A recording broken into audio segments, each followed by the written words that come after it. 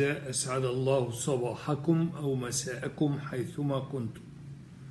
آه النهاردة بإذن الله هنبتدي آه آخر محاضرة في الجزء الأول في respiration لننهي ال gas exchange وهي خاصة بال carbon dioxide وهي respiration lecture رقم سبعة. 7 فنتوكل الله هنبتدئ ال carbon dioxide transport وكعادتنا فإحنا بنحب نبتدي بامتحان على المحاضرة السابقة اللي كانت على ال oxygen transport.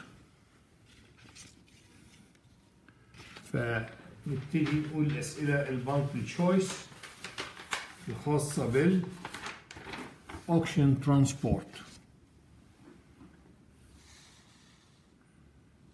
فالفكرة كالآتي السؤال الأول بيقول لي regarding ال oxygen in physical form ال arterial blood ال arterial blood all are correct except يعني اختار الخطأ. فال tissues use ال physical then ال chemical oxygen دي معلومة مهمة تبقى عارفها إن برغم إن ال physical أقل إنما لازم الأنسجة تبتدي بال physical لأنه الأسهل. مش بس دي الأهم لما تاخد الفيزيكال فبالتالي هيقل الفيزيكال فيقل الاكشن تنشن فالاكشن مع الهيموجلوبين يسيب. يعني الهيموجلوبين يسيب الاكشن يبقى هو ده الترتيب يا ولاد الطبيعي. إن آه هي ال tissues عينها على ال chemical لكن الأول تاخد ال physical فيقل فيقل بدوره ال oxygen tension فبالتالي ال oxygen in hemoglobin يبقى dissociated يبقى دي صح. هو عامل خطأ. It determines الاوكشن in physical وعليه ال oxygen tension determines ال percentage saturation of hemoglobin with oxygen صح برضه لكن it determines the oxygen capacity of hemoglobin غلط طبعا لأنه الاوكشن capacity ده بيعتمد على ال amount of hemoglobin فقط لا شيء سوى ال amount of hemoglobin وبعدين it's responsible for oxygen tension صح وعليه تبقى الاجابه الخطا اللي هو عاوزها C for cat السؤال الثاني dissociation curve hemoglobin is shifted to the left by. طبعا إحنا عشان يروح to the left يبقى اللي هو يسموه loading. حتى قلنا L مع L ال left هي ال loading يعني يقعد شايل اوكسجين مش عاوز اوكسجين زي قلنا في دو في ال resting condition إنما fever ما هي دي تساوي increase temperature. دي بت shift to the right. decreased pH دي acidosis. بت shift to the right. increased DPG بت shift to the right إنما إمتى بي shift to the left اللي هو ال loading اللي هو ال increase affinity في ال carbon monoxide poisoning بيجيب ال curve to the left وعليه تبقى الإجابة الصحيحة هنا ال curve shift to the left في ال carbon dioxide poisoning B for baby regarding ال P50 هل هي it is the percentage saturation of hemoglobin at pressure 50 ملم mercury؟ لا طبعا. هي ال pressure اللي عنده الهيموجلوبين بيبقى 50% saturated اللي هو في ال normal بيبقى 27 فدي خطأ. مش ال saturation اللي عنده ال pressure 50 هي ال saturation 50 عند أنهي pressure طيب it is decreased by increase the affinity hemoglobin to oxygen. صح طبعا. لأن لما يزيد hemoglobin to oxygen يبقى عاوزين pressure أقل عشان يبقى saturated 50% انما it is increased by decreased PCO2 in blood طبعا في هذه الحاله بالعكس هي لما يقل ال PCO2 in blood بيبقى shift to the left بيقل ال P50 يبقى دي خطا increased P50 occurs by shift of oxygenation curve to the left لا ده shift to the left بيقلل P50 يبقى الاجابه الصحيحه B for baby السؤال الرابع regarding المايجلوبين all are correct except it has less affinity to hemoglobin uh, to, to oxygen than hemoglobin لا هو عنده more affinity to oxygen than hemoglobin يبقى دي الإجابة الخطأ وهي المطلوبة اللي هي إيه؟ لكن نكمل it acts as a small storage of oxygen صح it's fully saturated during rest صح لأن هو ما بيديش اللي فيه غير مع الاكتيفيتي فبيبقى fully saturated during rest صح its its curve is rectangular hyperbola صح يبقى الإجابة الخطأ اللي هو عاوزها تبقى A for alpha إن هو less affinity than hemoglobin هو عنده more affinity لكن هو small storage of oxygen هو بيبقى saturated في الريست شكله rectangular hyperpolar السؤال الأخير regarding الأوكشن dissociation curve for hemoglobin الأوكشن content is plotted against الأوكشن tension قلنا لا طبعا is plotted against percentage saturation عشان هي التي لا تتأثر بالأماونت of hemoglobin it has its steep part at the lung لا الستيب part يبقى عند التيشو it's more shifted to the right for adult hemoglobin compared to fetal to fetal hemoglobin طبعا لأن الادلت hemoglobin بيبقى عنده decreased affinity بيسيب الاوكسجين للفيتس decreased affinity دي تساوي shift to the right يبقى دي الإجابة الصحيحة. It shifted to the right in alkalosis لا in acidosis مش in alkalosis. وعليه الإجابات كالآتي واحد C for cat اتنين هيبقى D for daddy تلاتة B for baby أربعة A for alpha خمسة C for cat وأنا عارف إن الامتحان كان a little bit صعب بس قلنا نمرنكم عليه. طيب. توكل على مبتدئ CO2 transport. Carbon dioxide transport in blood. كما يحمل الأكسجين في صورتين كذا يحمل ثاني أكسيد الكربون في صورتين. physical يعني مذاب و chemical يعني في اتحاد كيميائي يبقى الأكسجين وال carbon dioxide كلاهما بيحمل في physical form اللي هو مذاب و chemical form في اتحاد كيميائي لكن نيجي لل physical form. فبقول جملة يعني في مزاح عشان تفتكرها. فإن كما أنه من الحب ما قتل من ال carbon dioxide ما قتل. ال carbon dioxide ال physical form بيموت. ليه؟ تعال نشوف. لأن لما الأكسجين الأكسجين بيدوب في المية stays as is free oxygen molecule بيقعد زي ما هو free oxygen molecule لكن تعالى بقى في حالة ال carbon dioxide لما بيدوب.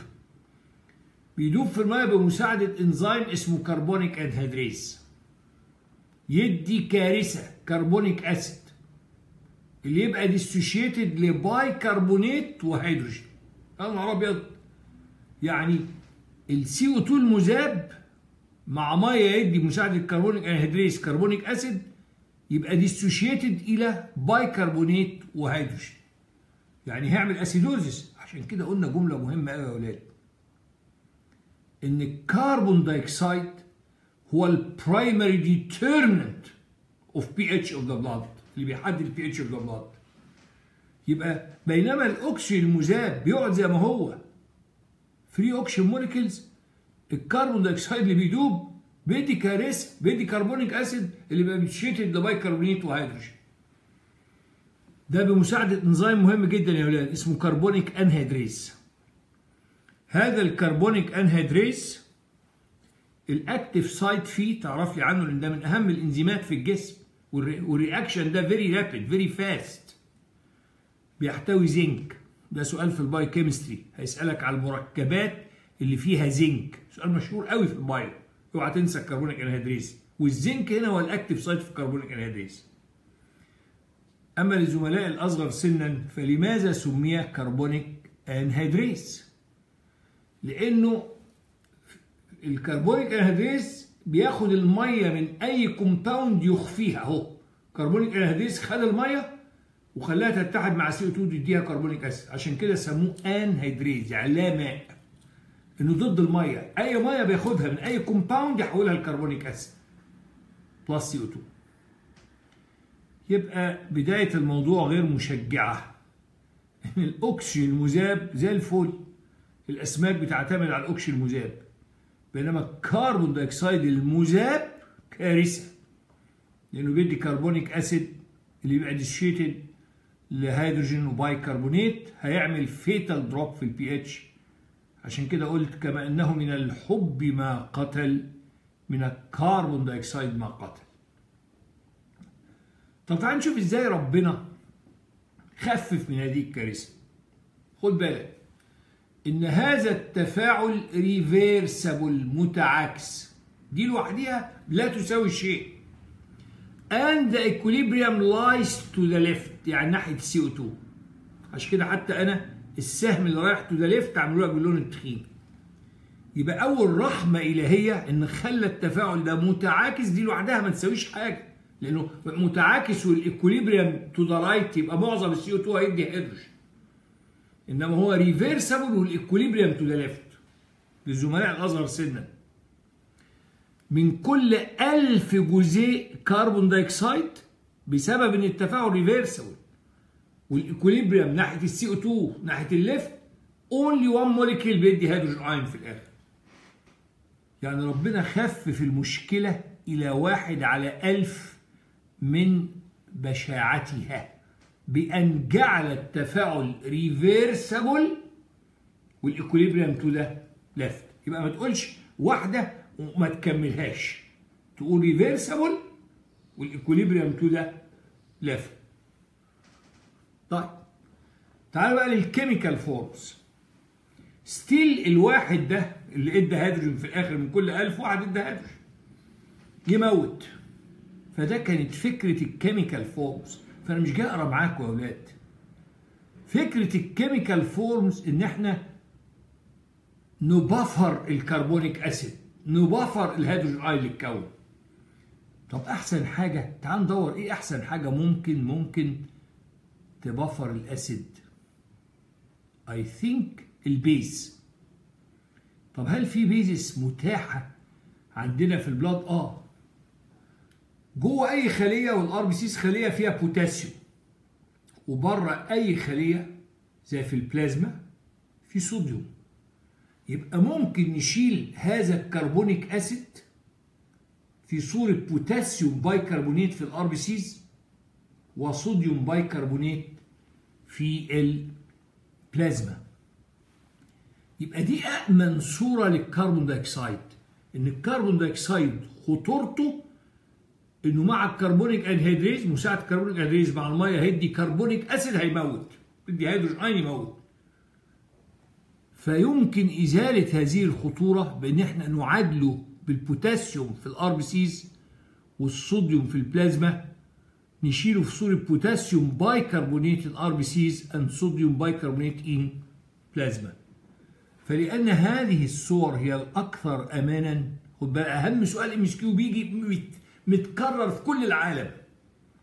إن most of carbon dioxide في جسمك وجسمي is carried as bicarbonate. يعني ما يقول لك إيه أهم صورة بيحمل عليها ال carbon dioxide في الجسم. ما تقراش السؤال. بايكربونات لأنها أكثر الصور أمانا. إنما الكمال لله وحده. ربنا علمنا أن نستغل كل الإمكانيات. آه أحسن حاجة في معادلة ال carbonic acid هو الصوديوم والبوتاسيوم ال base.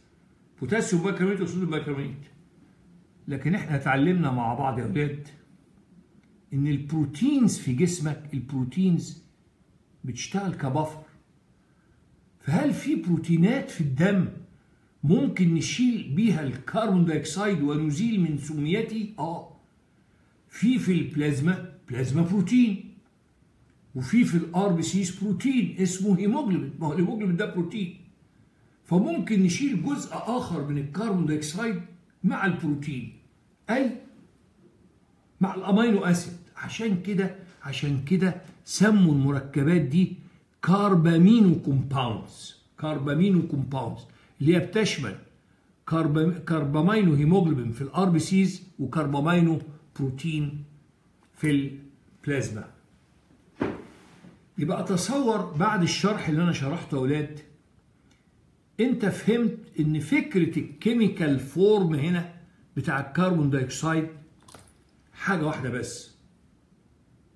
to buffer to buffer ال carbonic acid من هو أفضل buffer لل acid؟ ال base ال base البوتاسيوم والصوديوم. عشان كده most of carbon dioxide في اجسادنا بيحمل ك potassium bicarbonate في ال RBCs و sodium bicarbonate في البلازما. لكن لأن الكمال لله وحده علمنا ربنا أن نستغل كل الإمكانيات. في حاجة تاني ممكن تشتغل ك buffer البروتين. في هيموجلوبين في ال RBCs و plasma protein في البلازما فنشيل جزء من الهيموجلوبين ك carbamino hemoglobin جزء آسف من ال CO2 ك carbamino hemoglobin في ال RBCs و carbamino protein في البلازما يبقى أنا ما جيتش أقرأ معاكم كيف يحمل ثاني أكسيد الكربون. هعيدها تاني في عجالة. كما يحمل الأكسجين في صورتين. كذا يحمل ثاني أكسيد الكربون في صورتين physical مذاب و chemical. لكن كما أنه من الحب ما قتل من ال carbon dioxide ما قتل. عشان كده قلنا إن ربنا خلق الرئة أساسا فاكر to remove carbon dioxide then to remove carbon dioxide then to remove carbon dioxide then to supply oxygen. carbon dioxide خطير جدا. ليه؟ لأنه لما بيدوب في الميه مش زي الاوكسجين الاوكسجين بيقعد free oxygen molecules إنما CO2 يدوب في الميه بمساعده ال carbonic anhydrase اللي هو بيسموه metalloenzyme من أهم الإنزيمات في جسمك. metallo عشان فيه زنك وفهمت ليه سموه anhydrase عشان بيخفي الميه من أي compound مية على طول ياخدها خليها تتحد مع ال CO2 تدي كارثة. carbonic acid اللي بي dissociate ل bicarbonate و hydrogen فللزملاء الأصغر سنا إيه أهم إزالة لسمية ال carbon dioxide؟ إن ربنا خلى التفاعلات دي reversible ما تنفعش لوحدها. وال equilibrium ال equilibrium to the left يعني من كل 1000 جزيء CO2 واحد بس هيدي هيدروجين. كانت تبقى لكن لما تقول لي reversible بس ممكن تبقى reversible and to the right يبقى معظمه يدي هيدروجين تبقى كارثة ضربت الاف مئات الأضعاف. reversible ال equilibrium to the left. من كل 1000 جزيء CO2 واحد بس بيدي هيدروجين still الواحد ده يموت. فده فكرة ال chemical. إن إحنا عملنا buffering لل carbon dioxide أحسن buffer هي ال base عشان كده most of CO2 بيتشال ك bicarbonate potassium bicarbonate في ال RBCs و sodium bicarbonate في البلازما ربنا علمنا أن نستغل كل الإمكانيات.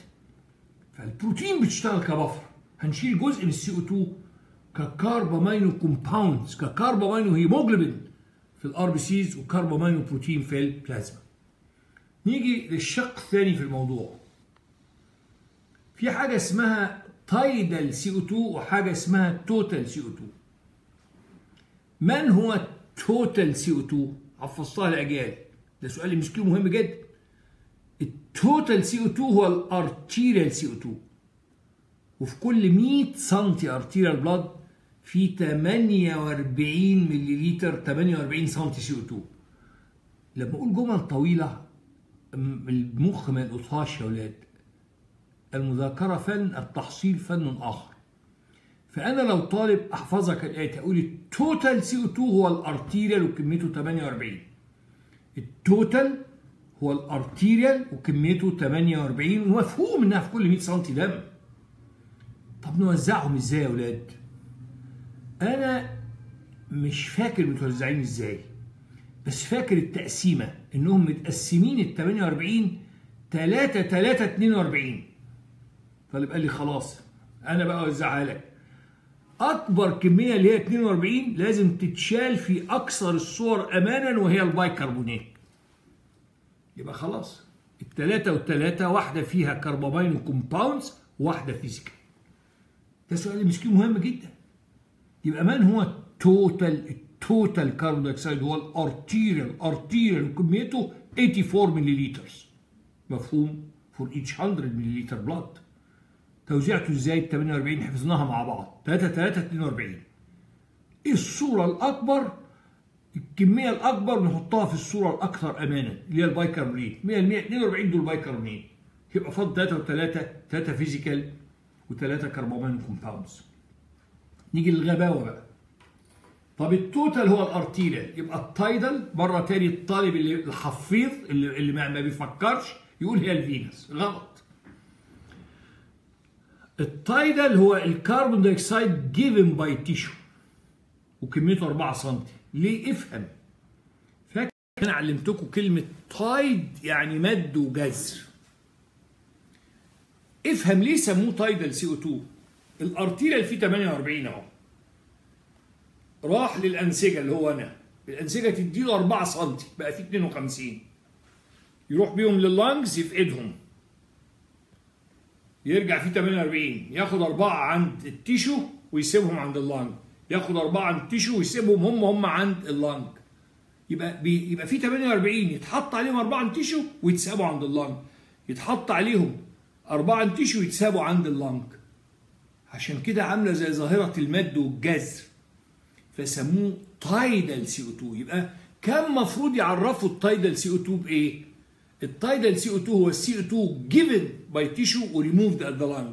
given by tissue وريموفد at the lung. يبقى عاملة زي المد والجزر هم اكتفوا بكلمة يبقى ال tidal CO2 هو اللي given by tissue ما هو بقيتها ملهاش لازمة. ما هو اللي given by tissue لازم يتساب عند ال lung إنما أنا فهمت لك من الأول ليه سموه تايدال سي أو 2 لأنه جيفن اند ريموف جيفن اند ريموف يبقى زي ظاهرة المد والجزر يعلى ويوطى. يزيد ل 52 ويرجع يرجع ل 48 يزيد 52 ويرجع ل 48 ويبقى لما يسألني سؤال مهم جدا في الشفوي ال venous CO2 كام؟ 52 ال total زائد ال tidal ال arterial جه فيه 48 ال tissue حطت فيه 4 رجع ال venous فيه 52 إنما الغباوة بتاع إن أنا أقول ال total arterial وال tidal venous ده طالب حفيظ. مش فاهم حاجة. طيب. يبقى ال total arterial 48 توزيعتها إزاي؟ أنا قلت لك أنا فاكر إنها 3 3 48 42 فأنت بذكائك قلت لي حط ال 42 بايكربونات الصورة الاقل عين 3 و3 طب ال 4 سم اللي هو التايدال سي أو 2 اللي هم جيفن باي تيشو ريموفد عند اللنج وعشان كده بقوا يقولوا ال tidal CO2 هو اللي given by tissue ما بيكملوهاش مفهوم انه ريموفد عند اللنج أربعة. أنا فاكر متوزعين إزاي بس مش فاكر مين فين. أنا فاكر إنهم متوزعين أكبر كمية 2.6 وبعدين 0.4 كده بقى وصلنا 3 2 6 من 10 4 من 10 و3 و1 وزعهم لي انت لطالب فاهم. أكبر كمية نحطها في الصورة الأكثر امانا. 2.86 نحطها في البيكربونات. وأقل كمية في الصورة الأخطر اللي هي 0.4 ال physical 4 يبقى الواحد اللي فاضل carbamino compounds يبقى عاوزة مخ. الأربعة متوزعين 2 و6 من 10 ده أكبر رقم. 4 من 10 أصغر رقم يبقوا 3 و1 هوزعهم إزاي؟ أكبر كمية وراء الخلق خلق تحط في الصورة الأكثر امانا بايكربونات وأقل كمية في الصورة الخطيرة ال physical اللي بتدي carbonic acid 0.4 والواحد يبقى carbamino compounds يبقى ال total arterial اتحط عليه ال tidal أربعة. فبقى ال venous فيه كام؟ سؤال أهو. أهو تبقى حافظه صم. يبقى ال venous عبارة أنا كاتبها لك أهو. ال total زائد ال tidal يساوي ال venous يبقى 48 زائد 4 ال arterial blood بيروح فيه 48 ياخد 4 يرجع فيه 52 تمام؟ يجي سؤال صعب ما حدش عمره هيسأله لك في الشفوي إنما طلبة كتير قوي أذكياء نفس قالوه لي. الأول افهم السؤال. هو ال blood رايح لل tissue ليه؟ عشان يديها اكسجين ويشيل منها ال carbon dioxide صح؟ فطالب سألني يعني هو رايح ياخد منها ال carbon dioxide؟ قلت له آه. قال لي طب ليه ليه ليه؟ ال arterial blood من الأول من الأول فيه 48 سم CO2 ليه ما يروحش فاضي؟ يجيب ال 4 سم من ال tissue ويرجع يرميهم في الرئه ليه بيروح فيه 48 وهو رايح يشيل أربعة بس؟ واحد من من أهم الأسئلة يا ولاد اللي ما حدش هيسألها لك بس عاوز ناس فاهمة. أنا قلت إن ال primary determinant بتاع البي اتش في الدم هو carbon dioxide عاوزك تتخيل لو ال arterial blood راح في صفر ورجع فيه أربعة. أهو بالشكل ده. يبقى ال ratio ما بين البي اتش بتاعة ال venous فيه أربعة وال arterial في صفر. أربعة على صفر؟ يا نهار أبيض. تبقى يعني حتى لو حسبناها رياضيا يبقى ما لا نهاية. يبقى مفيش أي علاقة بالبي اتش بتاع ال venous وال arterial لكن افهم بقى الحتة الجاية. لما يروح ال arterial blood في 48 ياخد أربعة من ال tissue يبقى ال venous فيه 52 يبقى نسبة ال carbon dioxide في ال venous إلى ال arterial مش 4 لصفر زي ما عاوز 52 ل 48 اقسم لي 52 على 48 تساوي واحد point أو حاجة. تساوي واحد و point أو حاجة؟ آه. يعني يبقى ال venous blood ال arterial blood ال venous فيه 52 ال arterial فيه 48 يبقى ال ratio بينهم تقريبا واحد. يبقى البي اتش بتاعت ال venous blood تقريبا زي البي اتش بتاعت ال arterial blood أو أعلى قليلا slightly acidic وأظن كانت هي دي عملية ال homeostasis. إن لازم البي اتش تبقى ثابتة في الجسم فلا يمكن تصور التصور الغبي واللي ما بيعرفش يجاوبه كثير من الزملاء. إن ليه ال arterial ما راحش فيه ما فيهوش CO2 خالص ورجع فيه أربعة. مش هو راح يجيب CO2 يا نهار أبيض! كان يبقى ال arterial ما فيهوش وال venous فيه أربعة. ال ratio ما بين أربعة و zero. رهيبة!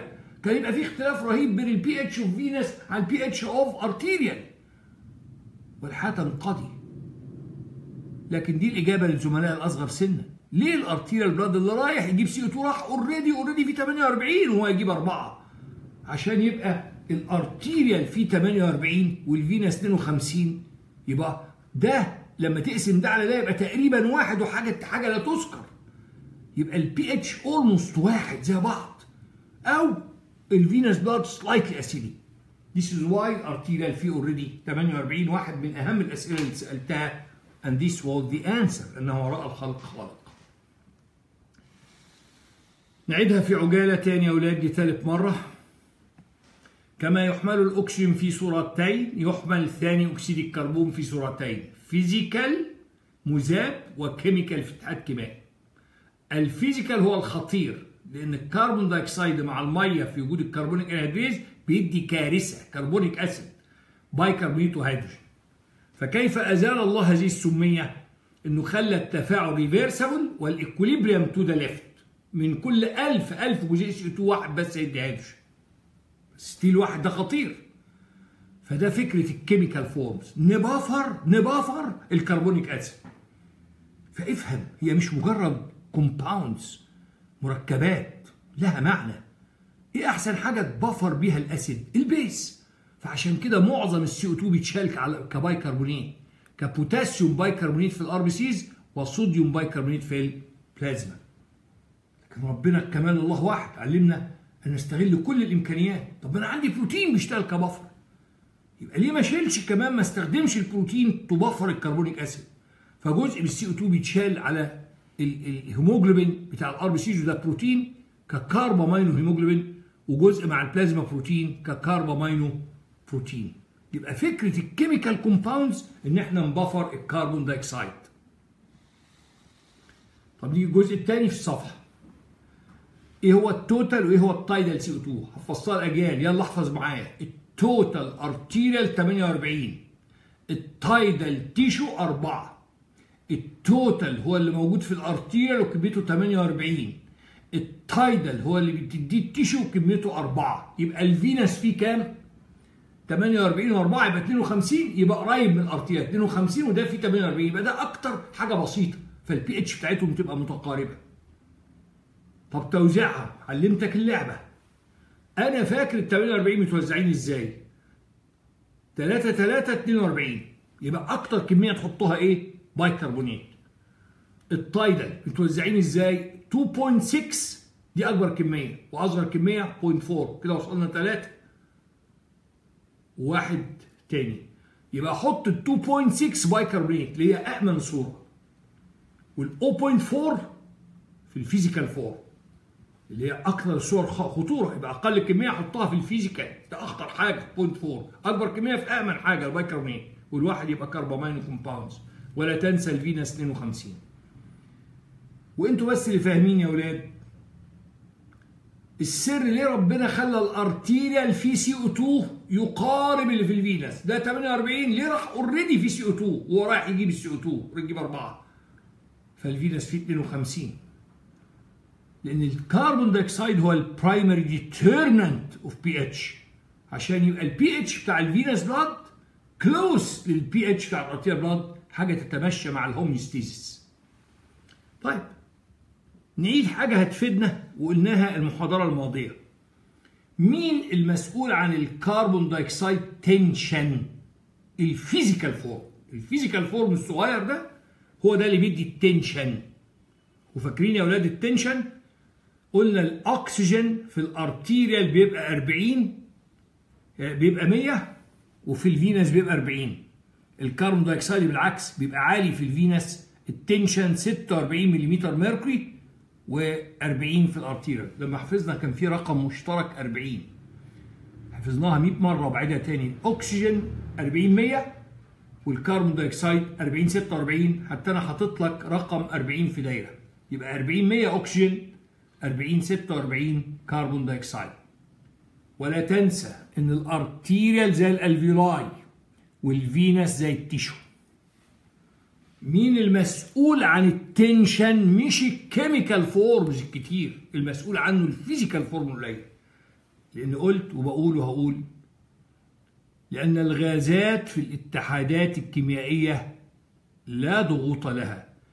Gases in chemical forms have no tension.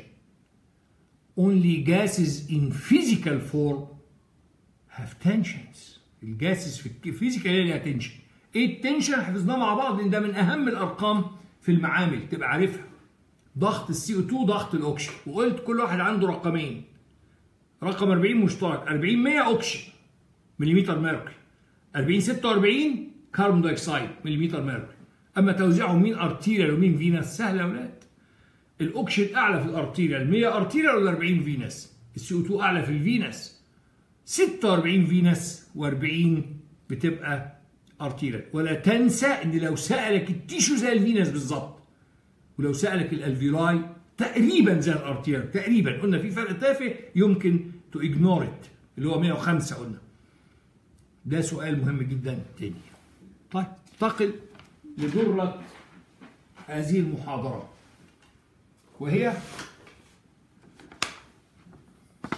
ال CO2 transport at the tissue اللي هي بيسموها chloride shift phenomenon أو Hamburger phenomenon عارف الهمبرجر اللي بتاكله؟ هنا سموها ال chloride shift Hamburger phenomenon نسبة إلى مكتشفيها وهو اسمه هارتوج جيكوب هامبرجر. هارتوج جيكوب هامبرجر. طبعا أنت عارف هم بياخدوا اسم العيلة كان اسم العيلة هامبرجر. ده واحد من أهم المواضيع. الأول افهم إحنا هنتكلم على إيه. دلوقتي كل 100 سم arterial blood بيروحوا فيهم 48 كويس؟ CO2 ال tissue تديهم. اسمعني كويس قوي. ال tidal CO2 قنبلة موقوتة اسمها tidal CO2 وكميتها 4 ملي لتر ملي لتر أهو يبقى ال tissue لما هنروح هيروح لها ال blood ده ال blood RBC بلازما. أما يروح ال tissue كل 100 سم هتديهم 4 ملليلتر tidal CO2 يمثل قنبلة موقوتة. لو ال blood ما تصرفش غض البصر عن هذا ال tidal CO2 ما تصرفش فيه هيدوب في في في المية هيدي carbonic acid هيعمل fatal drop في ال pH يبقى أفهم فين المشكلة؟ المشكلة إن حضرتك كل 100 سم دلوقتي دلوقتي عند حضرتك دم بيروحوا لل tissue ال tissue بيسلمهم 4 ملليلتر tidal CO2 لو هذا ال blood بتاع حضرتك والعبد الله ما تصرفش في هذا ال tidal CO2 اللي هو ال 4 ملليلتر وسابهم كده نسي القصة هيدوبوا في المية بتاعت الدم يدوا carbonic acid يحصل fatal drop في ال pH فقصة ال chloride shift phenomenon أو Hamburger phenomenon هي قصة التخلص من ال tidal CO2 فتعال نشوف هيحصل إيه عند ال tissue. الرسمه الأول افهمها معايا؟ دي ال RBCs أهي باللون الأحمر وده البلازما وده ال tissue فعند ال tissue بيحصل إيه نبتدي بداية طفولية خالص. ال tissue بيحصل عندها إيه يا بابا؟ ال tissue بتاخد الاكسجين وتدي ال carbon dioxide حلو؟ كلام بتاع أطفال. طب عايزين نعلو على مستوى الأطفال شوية. نقولها based على ال tension. هي ليه ال tissue بتاخد اكسجين وبتدي carbon dioxide لأن ضغط الاكسجين في ال arterial blood أعلى من ال tissue. فاكر؟ 40 100 ال 100 دي عند ال arterial blood وال 40 عند ال tissue. فالاكسجين يتجه من ال blood لل tissue. والعكس في ال CO2 لازم تكتب التنشن. التنشن في البلاد 40 وعند التيشو 46 بتاع ال carbon dioxide مليمتر mercury. فال CO2 يتجه من ال tissue للبلازما. تمام؟ يبقى دي أول جملة. عندنا كارثة 4 سم عاوزين نخلص منهم. فالهيموجلوبين مشكورا. قال يا جماعة يا جماعة أنا شغال نظام شادية. يعني قال عشان ماليش قلبين ما أقدرش أحب اتنين. أنا لما هسلم بعض من الأكسجين بتاعي لل tissue مش الهيموجلوبين بيسيب الأكسجين لل tissue مقدرتي مقدرتي على حمل ثاني أكسيد الكربون هتزيد. فأقدر أخلصكم من سنتي من الأربعة دول. سنتي من الأربعة هشيله ك carbamino hemoglobin. سنتي واحد. وده يمثل 25% من المشكلة. المشكلة 4 سم أهي. الهيموجلوبين بمنتهى الظرف قال أنا لما بسيب جزء من الأكسجين بتاعي لل tissue بدي الأكسجين بتاعي لل tissue مقدرتي على حمل ال carbon dioxide بتزيد فهشيل لكم واحد من الأربعة الذي يمثل 25% في صورة carbamino hemoglobin ولكن المفاجأة إن هذا ال carbamino hemoglobin ليست له علاقة بموضوعنا وهو ال chloride shift phenomenon. مش أي علاقة بالقصة. ال chloride shift phenomenon بيختص بالجزء الأكبر التلاتة اللي فاضلين. هنعمل فيهم إيه؟ وحفظتها لاجيال قصة رباعية الأشواط. تعالى تابع معايا. خطوة خطوة من الخطوات الأربعة. وما عشقت مثل عشق النظام. 3 سم التانيين من ال CO2 أهو. خلاص خلصنا من السنتي ده فهمنا إزاي؟ الهيموجلوبين لما ساب أكسجين قدر يشيل سنتي من الأربعة. 3 سم من ال carbon dioxide دول step 1 هيدوبوا مع المية بتاعه ال RBCs بمساعدة ال carbonic anhydrase يدوا carbonic acid دي step 1 يا نهار أبيض حصلت الكارثه في بيتنا acid مش اسد acid ال CO2 داب مع المية إدى carbonic acid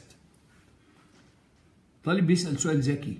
هو ليه ال CO2 بيدوب في المية بتاعه ال RBCs وما دابش في المية بتاعت البلازما مع إن الميه البلازما فيها 90% مية. يعني فيها مية أكتر من ال RBCs الإجابة قصادك أهو. لأن ال carbonic anhydrase ده سؤال MCQ مهم جدا موجود فقط فقط في ال RBCs فال CO2 بيدوب في المية بتاعت ال RBCs وما بيدوبش في المية بتاعت البلازما. إدى إيه؟ carbonic acid. يا نهار أبيض حصلت المشكلة. في بيتنا carbonic acid. الحقني هيعمل fatal drop في ال pH. الحقك إزاي دور معايا على حاجة نعادل بيها هذا ال carbonic acid. إيه أحسن حاجة تعادل ال carbonic acid؟ البوتاسيوم. صود ال base. من هو ال base المتاحة في ال RBCs جوه الخلايا؟ بوتاسيوم. دور لي البوتاسيوم موجود فين؟ طلبة كتير ما تعرفش البوتاسيوم موجود فين في ال RBCs. البوتاسيوم جوه ال RBCs وده لوحده سؤال مهم جدا بيبقى متحد مع الهيموجلوبين. ليه؟ لأن قلنا إن أي بروتين في جسمك موجود في وسط alkaline جسمك alkaline behaves as an acid hemoglobinic acid فالبوتاسيوم متحد مع ال acid اللي هو ال hemoglobinic acid.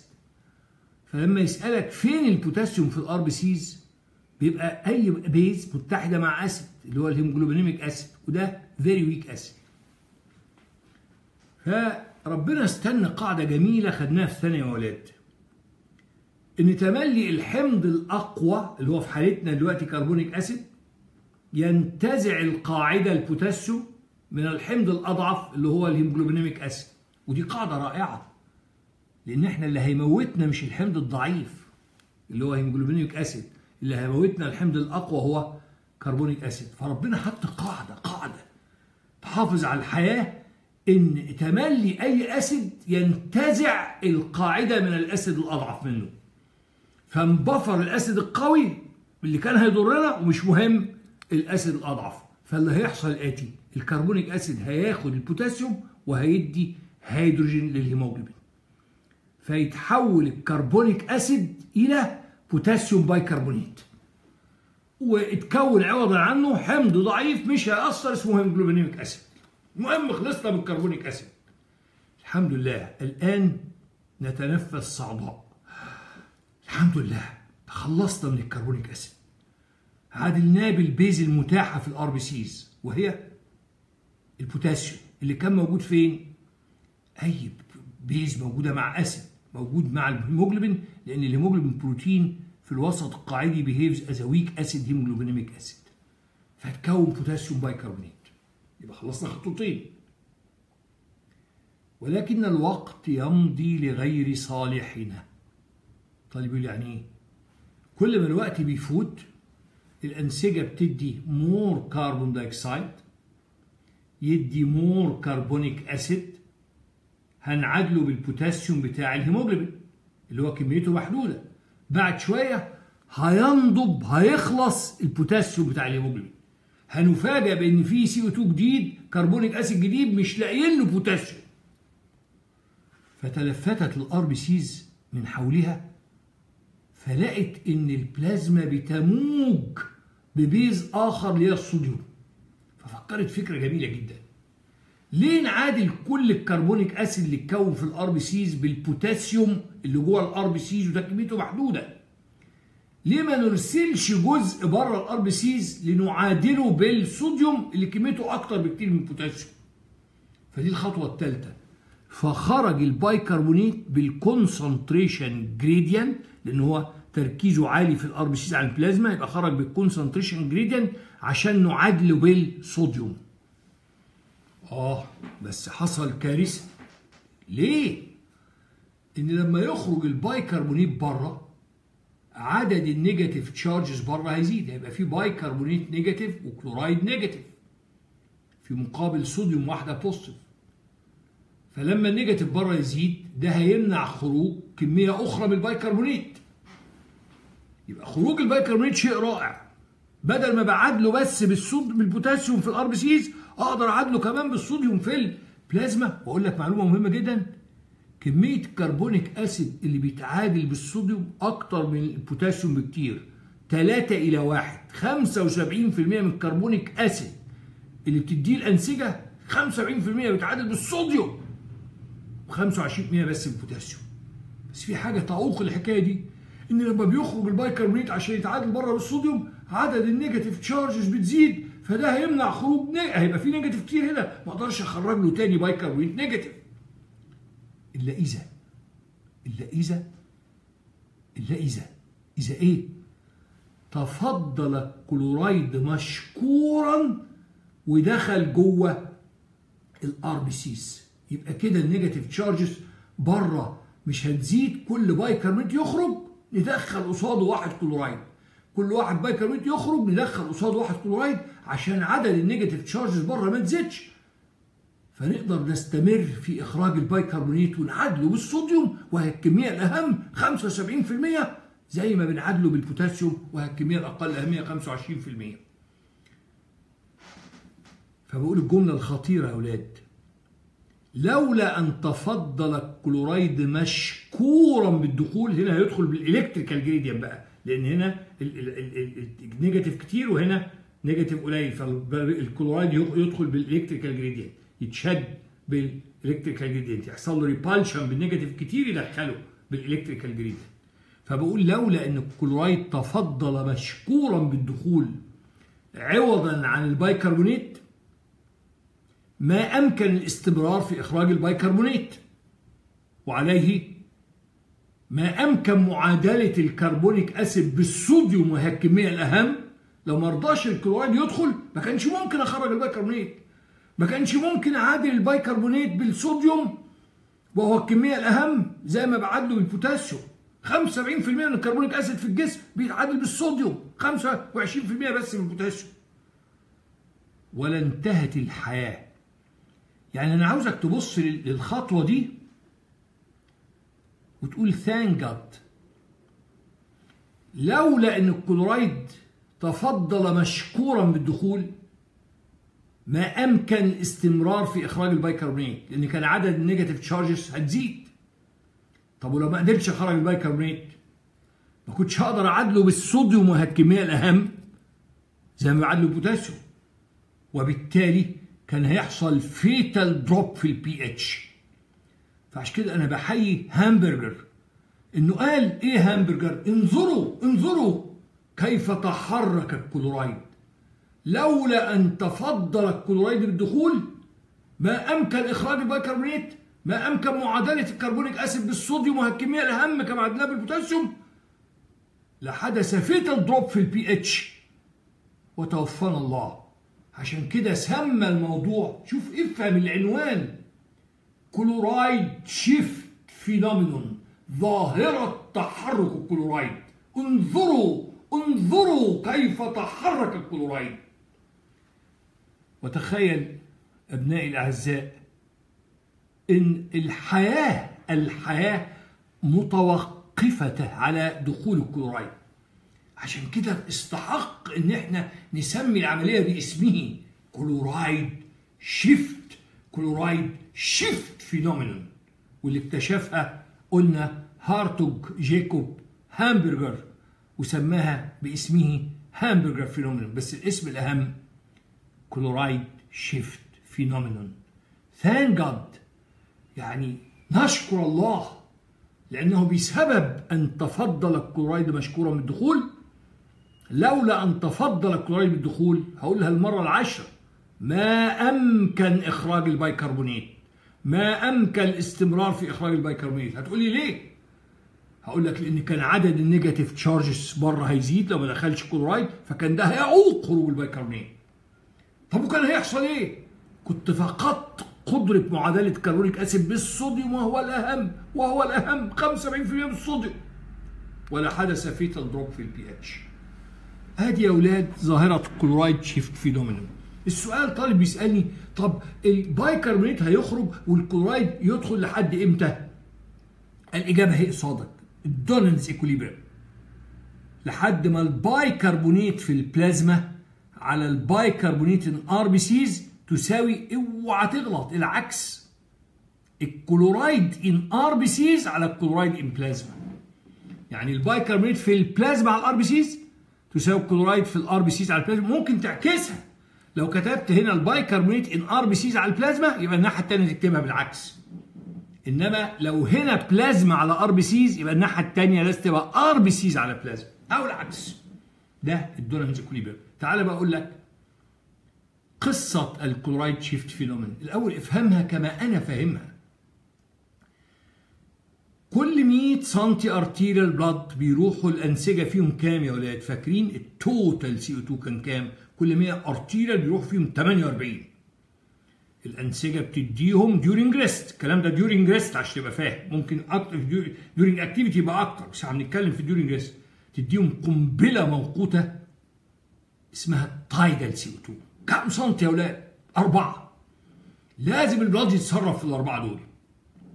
ربع المشكلة الهيموجلوبين مشكورا قال أنا لما بسيب أكسجين مقدرتي على حمل ثاني أكسيد الكربون تزيد. علشان ماليش قلبين ما أقدرش أحب اتنين. لما أسيب واحد الأكسجين أقدر أشيل CO2 هاخد لكم سنتي من الأربعة. هخلصكم من 25% من المشكلة. هشيل سنتي ك carbamino compounds. بس ده الجزء الأصغر. الجزء الأكبر هو في موضوع ال chloride shift phenomenon. أربع خطوات تحفظها صم طب التلاتة سم اللي دخلوا.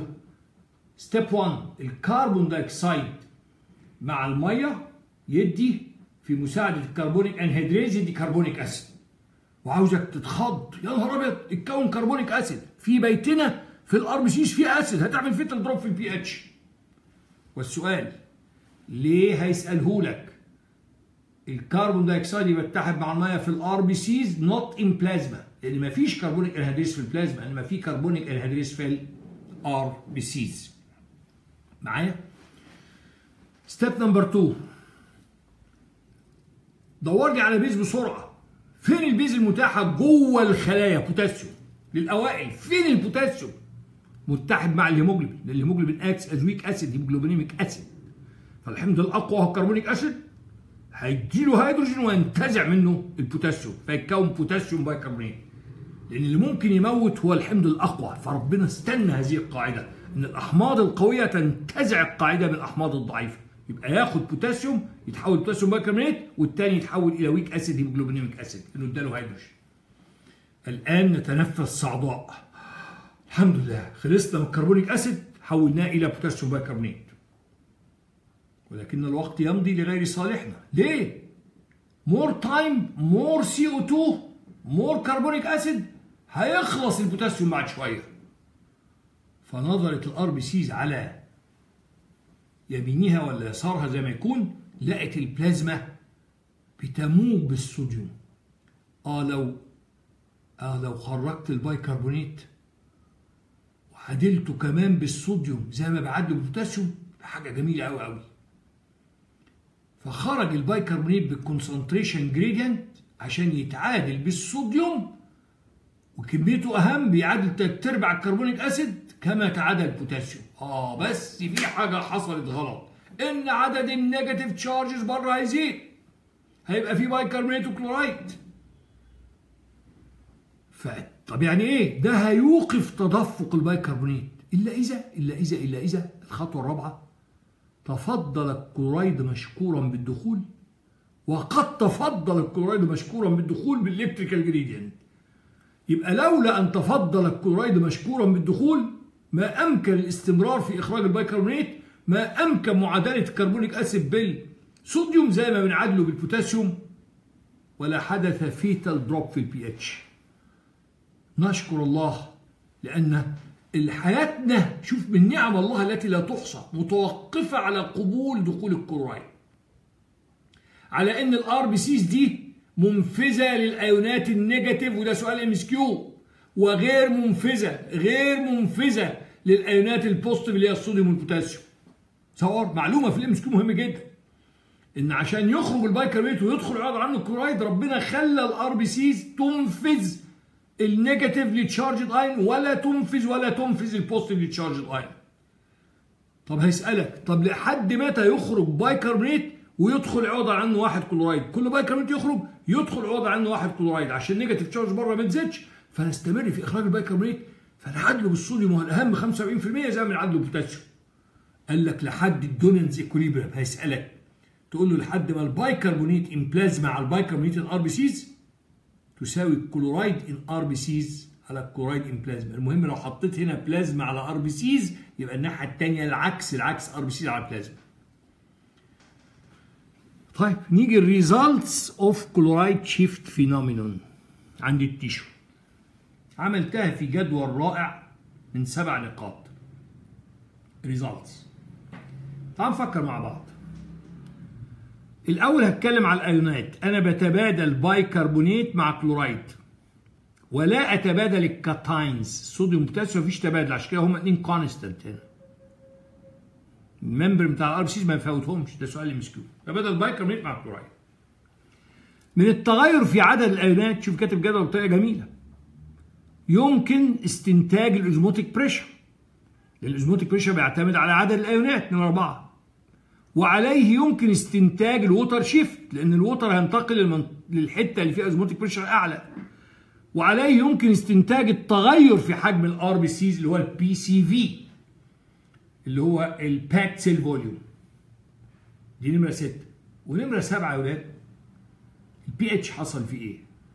actually أنا يعني غلطتكم غلطة صغيرة خفيفة. إن أنا قلت إن ال 3 سم ال CO2 الباقيين هم اللي بيحصل لهم ال chloride shift حقيقة الأمر يا ولاد لأ.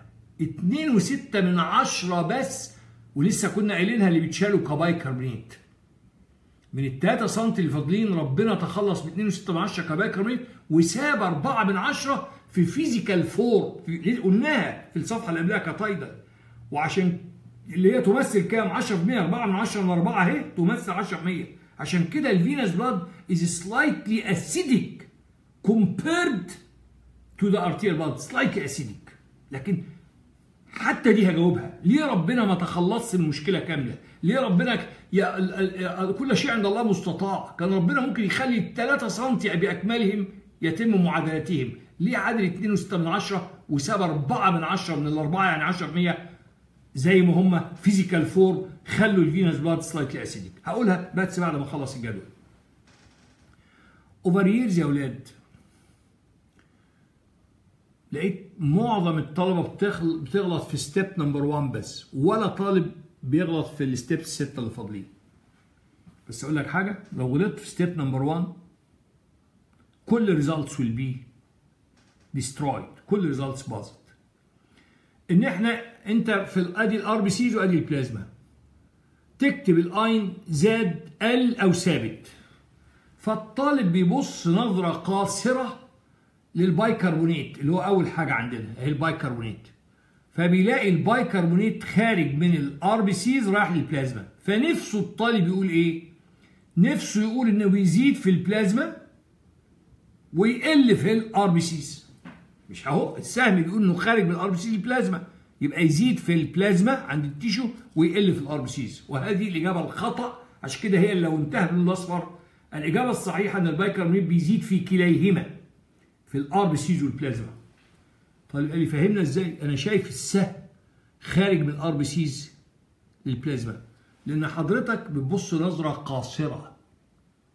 كان لازم تبص الموضوع ككل. إن normally ال RBCs ما فيهاش bicarbonate ال CO2 ده جاي لها من ال tissue. كانت فاضية وجاي لها CO2 carbonic acid من ال tissue أهو. احتفظت بجزء وأدت جزء للبلازما فحقيقة الأمر البايكربونات زاد في كلاهما. طالب قال لي مش فاهم أنت قلت إيه. قلت له تصور وأنا عارف إنك مش فاهم. فتملي بقول مثال طفولي. أنا راجل مفلس. فسيد س من الناس تفضل عليا واداني 10 جنيهات. خلاص؟ أنا ال RBC اداني 10 جنيه. أنا لقيت سيد ص أكثر افلاسا مني. فاديته 7 جنيه ونص بالعشرة واحتفظت ب 2 ونص. ما هو ده اللي عملته ال RBCs.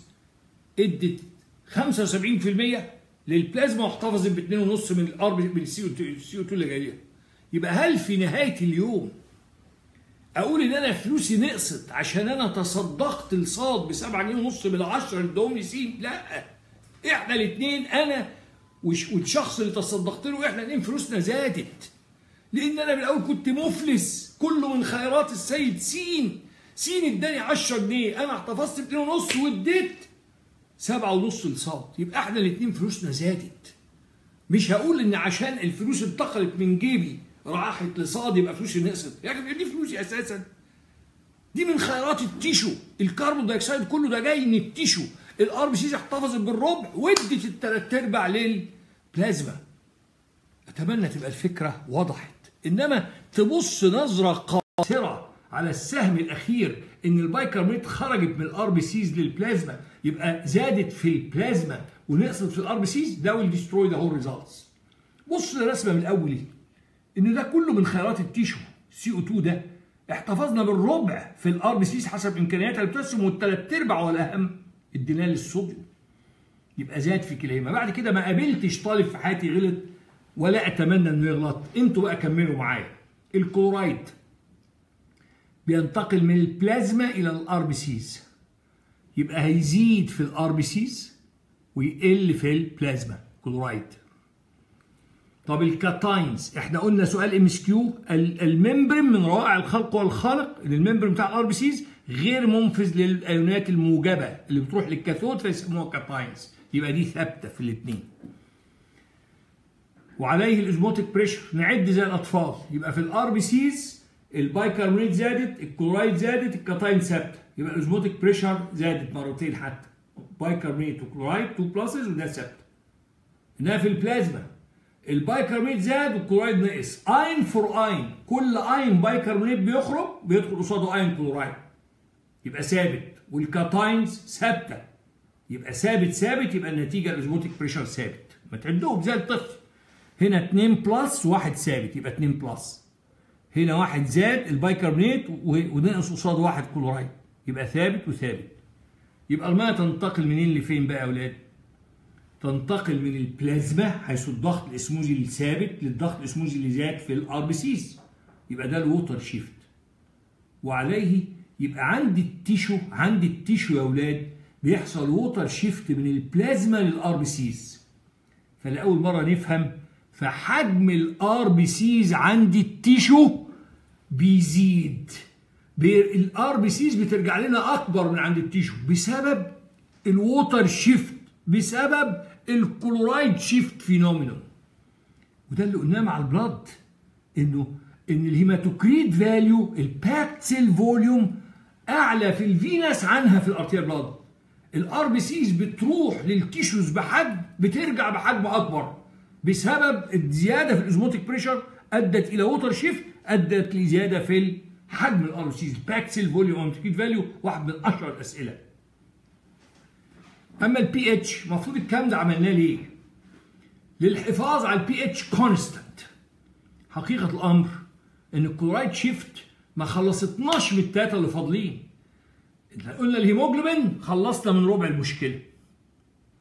الثلاثه اللي فاضلين خلصنا ال chloride shift خلصتنا من 2.6 و still في 4 من 10 موجودة في physical form بتخلي ال venous blood slightly acidic وده برضو هجاوب السؤال للزملاء الأصغر سنا وكثير منهم مش عارفين الإجابة.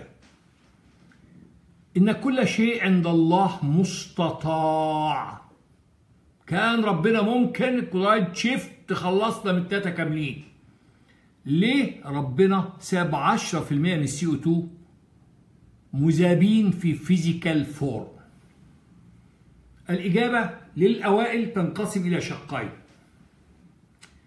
إن ال CO2 في ال physical form ده ال CO2 اللي في ال physical form خدنا ال Bohr's effect.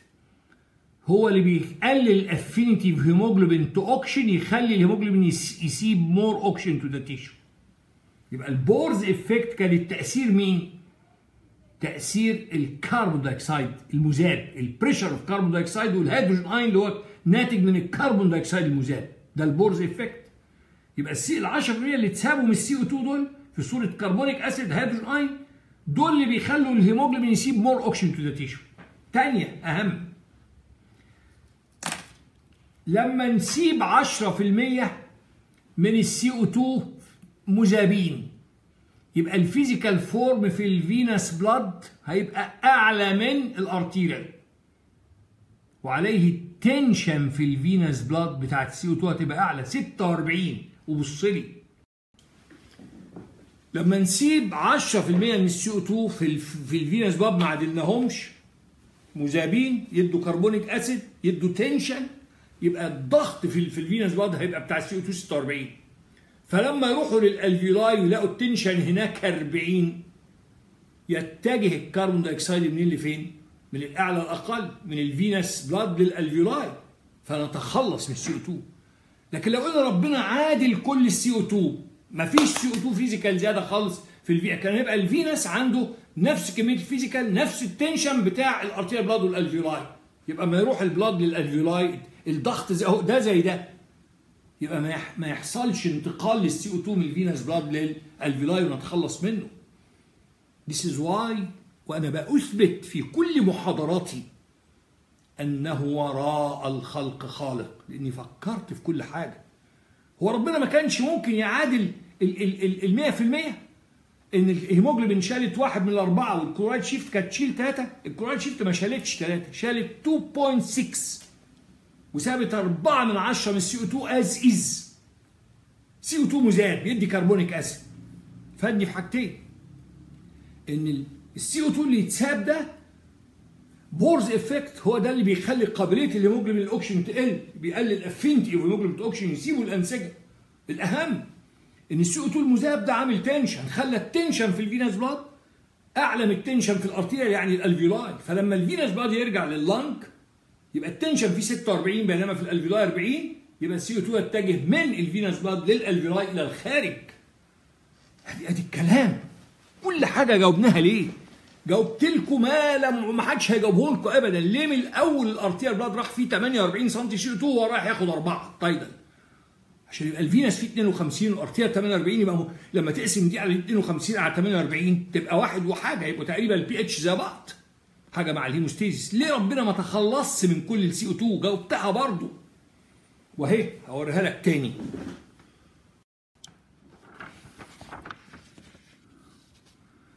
اهي التقسيمة اهي قلناها. لما كنت نسيتها. ال total arterial 48 متوزعين إزاي؟ ده مش موضوعنا دلوقتي. 3 3 42 للتذكرة. ال tidal اللي هو موضوعنا بقى الأهم. ال tidal اللي هو given by tissue افتكرها. ال tidal given by tissue TI TI اهو.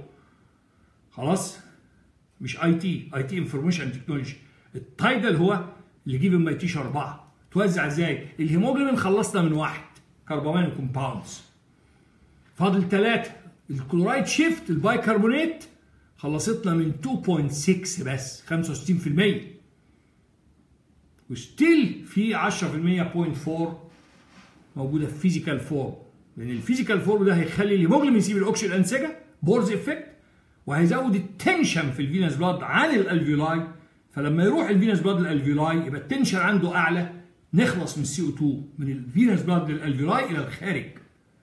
ده إجابة السؤال. يبقى ده ال chloride shift phenomenon at tissue ده results السبعة بطريقة رائعة جدول رائع. الأول ثلاثة الأيونات البايكربونات بنتبادله مع الكلورايد ولا نتبادل ال cations ال membrane لا ينفذ ال cations الصوديوم والبوتاسيوم ال positive من عدد ال ions تقدر. تتصور ال osmotic pressure. وعليه ال water shift وعليه حجم ال RBCs وفي الآخر نمرة سبعة البي اتش البي اتش في ال venous blood slightly acidic لأن اتساب 10% في ال physical form. فين اللي هت destroy كل الحكاية؟ البايكربونات إن لو نظرت نظرة غبية إن يبقى قلت البايكربونات اتنقل من من ال RBCs إلى البلازما. يبقى نفسك تقول إنه زاد في البلازما وقل في ال RBCs لا لازم تبص للرسمة كاملة. إن ال RBCs لما راحت ما كانش فيها CO2 ده من خيرات ال tissue. أبقت الربع على قد البوتاسيوم والأهم التلات أرباع خرجته يتعادل بالصوديوم. فالبايكربونات زاد في كليهما. بعد كده ما شفتش طالب غلط. الكلورايد هنا يزيد وهنا يقل. الكاتاين ثابتة في الاثنين. لما تاخد محصلة يبقى ال osmotic pressure زاد في ال RBCs ثابت في البلازما. يبقى الميه تنتقل من البلازما لل RBCs يبقى حجم ال RBCs ال hematocrit value ال packed cell volume في ال venous blood أعلى من ال arterial يبقى لما يسألك شافه ليه ال packed cell volume أعلى في ال venous الاجابه كلمتين. بسبب ال water shift بسبب ال chloride shift phenomena. وال venous blood slightly acidic السؤال ده يا ولاد بيجي بصوره أخرى. بدل ما يجيب لك chloride shift phenomenon at the tissue وهو السؤال الأشهر يجيبها لك at the lungs أنا اتعودت في كل محاضراتي إن أقول بصوا يا أولاد دي homework عاوزك تعمله. أنا عاوز طالب يبقى ذكي. أنت تحفظ كويس قوي اللي عند ال tissue. عند ال tissue. تحفظش اللي عند ال lung. افرض جالك سؤال عند ال lung. كل هذه التفاعلات يا أولاد reversible كل التفاعلات اللي أنتم شايفينها دي reversible مرتجعة. يحصل العكس تماما. وأنا هديك ال key وجربه بعد المحاضرة أعملها. انت احفظ ال tissue ولو جات لك نتصور ان ده امتحان جات لك في الامتحان. جاوب ال tissue بالرصاص. حلو؟ وبعدين اعكس ثلاث حاجات. اديني قلتهم. لو كتبت بدل ال tissue هنا lung يبقى ال tension هتتعكس. نمره واحد يبقى ال lung هيبقى ال CO2 عندها 40 بالعكس وال venous blood عنده 46 والاوكشن بالعكس ال lung هيبقى عندها 100 وده 40 يبقى أول حاجة تعكسها ال tensions وعليه تعكس رؤوس الأسهم. لو السهم متجه رأسه هنا حطه هنا. كل رؤوس الأسهم نمرة اثنين واعكس ال results الزائد اعملها ناقص. والناقص اعملها زائد والمتساوي سيبه زي ما هو. هتلاقي السؤال الجاوب اوتوماتيك اوتوماتيك يبقى تاني مش عاوز طالب غبي يلخبط نفسه ويحفظ ال chloride shift عند ال... عند ال tissues اللي شرحناها وهي الأهم وهي اللي بتيجي ويحفظها كمان عند ال lung في بعض الجامعات بيحاول يلخبط طالب يجيبها له عند ال lung وما نعمل إيه؟ اللي هتعمله النهارده. هروح مجاوبها في ورقة زي دي كده بالرصاص. tissue وبعدين اعكس ثلاث حاجات. كاتبهم لك أنا حتى مين اللي تعكسهم الثلاثه هم تعكس مكتوبين قصادك أهي. ال tension وعليه الاسهم ال arrows وعليه results ال tension يعني بدل ما هيبقى هنا 40 46 هتبقى بالعكس.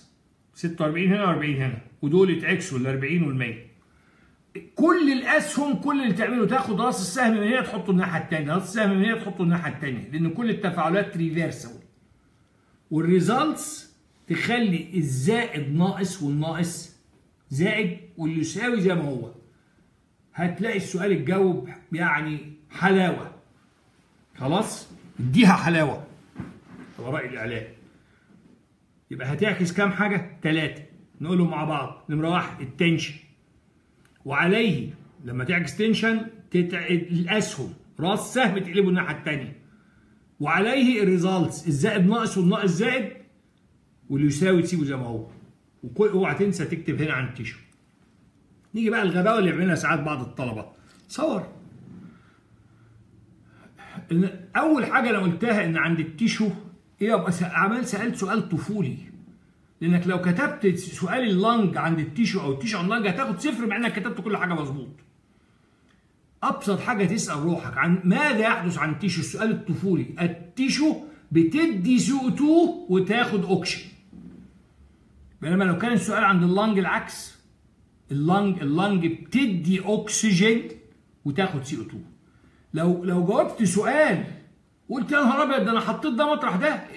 للتأكد انك مشيت في الاتجاه الصح تسأل روحك السؤال الطفولي. هو جاب لي tissue ماذا يحدث عن ال tissue. ابص على رسمتي الاقي ال tissue بتدي CO2 وبتاخد اوكسجين لو جابوا لي lung الاقي ال lung بالعكس بتدي اوكسجين وبتاخد CO2 يبقى ده ال chloride shift phenomenon سنتي من الأربعة تولاه الهيموجلوبين قال أنا لما بسيب الاوكسجين بقدر أشيل CO2 أكتر. خلصكم من ربع المشكلة. سنتي من الاربعه 25% ك carbamino compounds. ال chloride shift 2.6 من 10 مش 3 still فيه 4 من 10 ما تخلصناش منهم. في الخطوات الأربعة يتكون carbonic acid نعدوا بالبوتاسيوم خطوة ثانية خلص البوتاسيوم نخرج البايكربونات للتعادل بالصوديوم خطوة ثالثه طب كده ال negative هيزيد الخطوة الأخيرة والأهم يدخل الكلورايد. طب يخرج آين بايكربونات ويدخل ion chloride. إلى متى؟ Donnan's equilibrium أوعى تنساها في إجابة السؤال عشان تاخد full mark البلازما على ال RBC تساوي ال RBC على البلازما ثم ال results السبعه وما عشقت مثل عشق النظام. ثلاثة ions بايكربونات وكلورايد نتبادلهم كتايل لا نتبادل. من عدد ال ions في ال osmotic pressure وعليه ال water shift وعليه حجم ال RBCs أدي كمان ثلاثة يبقى ستة. يبقى ثلاثة ions تعرف منهم osmotic pressure water shift packed cell volume كمان ثلاثة ستة ثم البي اتش سيبنا 10% لو جالك السؤال tissue أديني قلت لك وعمري ما شرحت ال lung اعملها بنفسك. كنت بديها لهم في المحاضرات homework اكتبها بالرصاص واعكس ال tension نمرة واحد الأسهم نمرة اثنين ال results نمرة ثلاثة الصفحه الأخيرة في هذه المحاضرة. والاسهل اللي هو ال carbon dioxide dissociation curves ملهاش أي قيمة. عمرها ما بتيجي. فكرتها بس إنها بتشرح ال Haldane effect بص. في ثلاث curve ات قصادك هنا. الأول في أي curve علمتك. إيه الجملة رقم واحد؟ ذكرني بيها. تقول لي بنمثل إيه على الرأسي وإيه على الافقي أي curve خلاص إحنا بعد في الآخر بنحفظ بعض يبقى لينا طريقة. فهنا بمثل ال CO2 content في مواجهة ال pressure of carbon dioxide ما تلخبطش في ال oxygen dissociation curve جبت لك سؤال. كنا بنحط ال percentage saturation against ال pressure of oxygen هنا ما بنحطش percent saturation بنحط CO2 content هناك ما كناش بنحط oxygen content وقلتها ليه؟ ارجع للمحاضره ومش عاوز عبط. اوعى تكتب لي percent saturation percent saturation دي نسبة تشبع الهيموجلوبين بالاوكسجين هو هنا يا بني آدم يا بني آدم. ال carbon dioxide بيحمل أساسا على على الهيموجلوبين ال carbon dioxide أساسا أساسا أساسا كباي كربونات يبقى percentage saturation إيه اللي هتحطها هنا؟ هنا بنحط ال CO2 content ال CO2 content في مواجهة ال pressure CO2 لأن ال CO2 لا يحمل لا يحمل أساسا على الهيموجلوبين إنما بيحمل أساسا كباي كربونات في ثلاث curve ات هنا. curve for completely reduced blood باللون الأزرق حاجة مش موجودة في الجسم. نسبة تشبع الهيموجلوبين zero. بنعملها إزاي؟ ما عليكش بس أنا أقول لك. جهاز ال tonometer اللي كلمتك عليه اللي بنحط فيه شوية دم بنحطه في يعني oxygen free gas حط ال- الهواء جوه ما فيهوش اوكشن خالص فيبقى ال blood completely reduced وضع مش في الجسم. خلاص؟ وده ال curve الأحمر بتاع ال oxygenated blood arterial blood اللي هو الهيموجلوبين 97% مشبع. وال curve الصغير اللي في النص ده بتاع ال venous blood اللي هو 70% مشبع during rest 70% saturated حتى ناقصة في كلمة percent طيب. يلاحظ إيه في هذا ال curve؟ مش مكتوب في معظم كتبكم لكن أنا بقولها عشان تفهم. يلاحظ في الثلاث curve ات دول. يبقى عندي curve not physiological ل completely reduced blood اللون الازرق curve اللي هو نسبة تشبع الهيموجلوبين 0% دي مش موجودة في الحياة ده بموت لو نزل تشبع الهيموجلوبين عن 50% اللي هو P50 موت. ده حاجة في ال tonometer بره. بن- بنجيب الدم في ال tonometer ونحطه في وسط ما فيهوش اوكسجين فيبقى ال blood completely reduced أهو. وده بنخلي ضغط الاوكسجين 100 فيبقى ال blood 97% مشبع اللي هو arterial وبعدين تالت تجربة نجيب ال tonometer ونحط فيه ضغط الأكسجين نخليه 40 فيبقى ال blood الهيموجلوبين 70% saturated يبقى عندي تلات curve ات إيه اللي تلاحظه؟ لاحظ الآتي. ملحوظتين بس. أول ملحوظة منطقية. إن كلما زاد ال CO2 tension على المحور الأفقي زاد ال CO2 content على المحور الرأسي. وده منطقية كل ما ضغط ال CO2 بيزيد بيزيد المحتوى من ال CO2 النقطة الأهم هي الأهم بقى. الثانية آسف. وهي شادية.